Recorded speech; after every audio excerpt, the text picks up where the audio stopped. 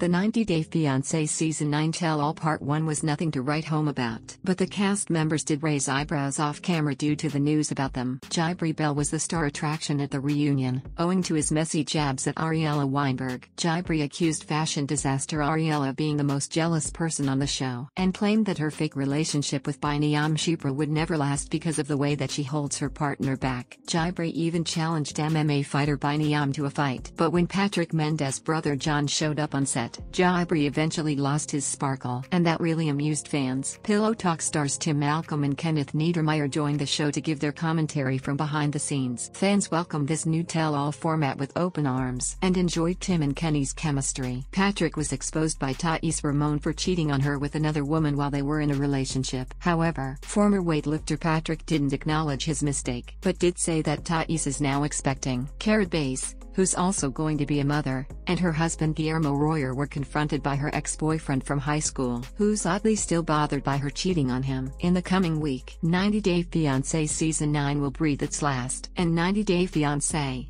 Happily Ever After will take its place on August 28. In part 2, more fireworks are expected to fly between Jibri and the rest of the cast, amid Shaeeda Sween accusing Bilal Hazziez of not getting her pregnant ahead of their Hiya debut in season 7. Fans aren't particularly thrilled about the upcoming spin-off either, owing to the likes of controversial Angela Deem and Big Ed Brown being on the cast member list. While the 90 Day Fiancé season 9 was boring from the start, the cast somehow manages to spice things up with their antics. Makeup artist Mion Miona's skills failed to impress the 90 Day Fiancé fans who watched her on the tell-all. Shortly after the reunion episode aired, a screenshot of Miona in a purple outfit was posted on the internet. Instagram user 90 Day Fiancé Zo Savage claimed that the kind of makeup that Miona does only looks good when there's a filter used with it. In the comments, fans pointed out that for a professional, Miona's makeup was terrible. Someone else referred to her as a whole new level of clown. Questions have also been raised about Miona's age, as fans suspect that she is older than 23. Meanwhile, Muhammad Abdul Hamid's alleged texts with a mystery woman and the drama caused because of the leaked screenshots on Instagram haven't affected his relationship with Eve Arellano. Fans wanted Eve to leave Muhammad after he made his intentions about wanting a green card clear on 90 Day Fiancé. However, after these supposed chats between Muhammad and his apparent girlfriend, fans are worried about Eve and her son, Theron. Meanwhile, Eve and Muhammad have both been sharing happy relationship updates on IG. Recently, their stories were about their trip to New York in June, in which the couple looked very romantic. Since the updates are older than the alleged texts, fans are wondering if there's something even Muhammad aren't telling them yet. In a 90 Day Fiancé first, two couples on a season ended up being pregnant before the show could even finish. Kara and Thais announced that they are pregnant during the Tell All Part 1. Interestingly, both were 16 weeks into their pregnancies. Kara and Guillermo used Instagram to share a compilation video of their cute pregnancy photo shoot with fans. Kara and Guillermo want to keep the gender of their baby a surprise, but did reveal that baby Rojer is due in late November of this year. Meanwhile, despite Patrick's infertility issues, Thais, who's also pregnant, will deliver in November. She is having a baby girl with a former weightlifter.